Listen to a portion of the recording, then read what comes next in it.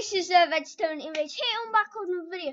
Now today's video we are having a Redstone video and I am not prepared at all for this video. Um, so what we're going to be doing is we are going to be making a contraption that is basically a hidden activation switch. So you've got your ground up here, okay? Um, you can have this as grass, dirt, whatever you like. It can be anything. What what you do is you place down a torch, and you can activate whatever you like. So we can do, for example, a simple um, T flip flop because it gives a one tick output. So if we do this, there you go. It retracts it. Do it again. And if you didn't know, my tick speed is set really low, and so it's really slow for pistons and stuff to happen. Uh, stripped down, it's very, very simple.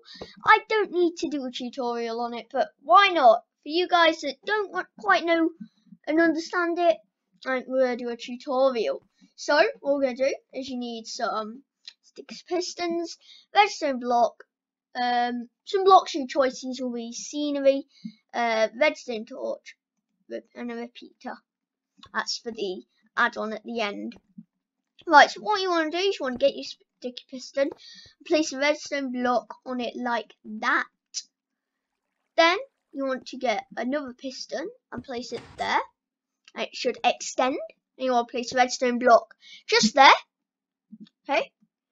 Then you want to uh, jump up in survival like this.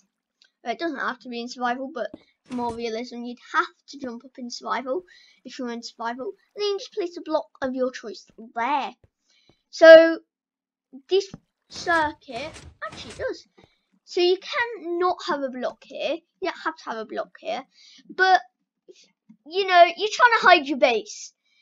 And I don't think you just want to see some sticky pistons. So, cover it up with some scenery, landscape, whatever you like. Um, this could be a wall. You know what I mean? Uh, you can have a footpath, and this could be a wall leading up to your massive mansion and this could be a hidden activation device so only you can get into your mansion um so you do that and like no one would see you whiz into your mansion and you're good to go uh now for the um second bit uh i'm gonna place it on iron blocks all you want to do is you want to get a repeater and just simply place it here want to get sticky piston placed there and a redstone block on there. So this actually makes T flip flop.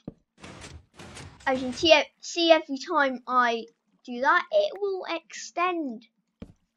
Oh, and if I place another one in, it will retract the redstone block. But unfortunately, ladies and gentlemen, that is all we have time for today in this video. So if you enjoyed, leave a like, maybe even subscribe, and I shall see you all later.